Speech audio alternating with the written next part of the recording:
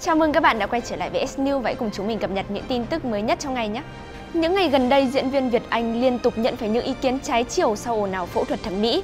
Ngay lập tức, anh đã lên tiếng đáp trả trên mạng xã hội nhưng bằng một vài lời lẽ kém văn minh và khiến khán giả vô cùng bức xúc.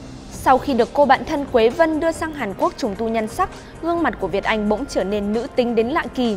Điều đáng nói hơn cả là Quế Vân lại khẳng định một cách đầy quả quyết rằng Việt Anh lúc này còn đẹp trai hơn cả Subin Hoàng Sơn. Thôi thì mỗi người một mắt thẩm mỹ khác nhau, việc Việt Anh phiên bản đã giao kéo có đẹp trai hơn Subin hay không thì tùy vào ý kiến của từng người. Tuy nhiên không chịu để yên khi nghe những lời bàn tán thiếu thiện chí, sáng nay diễn viên Việt Anh đã lên tiếng đáp trả khá căng thẳng trên trang cá nhân. Mượn một bài viết bày tỏ việc được tự do thay đổi bản thân nhờ giao kéo, Việt Anh đã viết rằng bạn này cách suy nghĩ rất văn minh và con người, không như một số con người nhưng lại là chấm chấm chấm à mà thôi. Nên những ai muốn mình hoàn thiện hơn một cách chính đáng thì cứ mạnh dạn và dũng cảm nhé.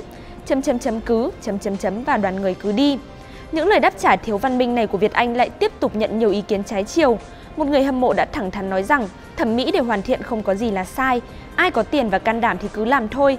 Nhưng anh là nghệ sĩ cũng nên chấp nhận những ý kiến trái chiều vì là người của công chúng mà. Có người sẽ quý anh, cũng có người không thích anh.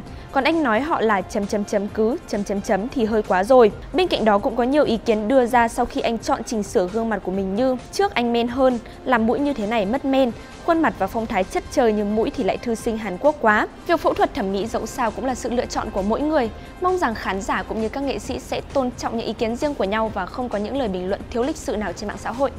Chúng mình là S News và các bạn đừng quên like, share cũng như subscribe để cập nhật những thông tin mới nhất có trong ngày nhé.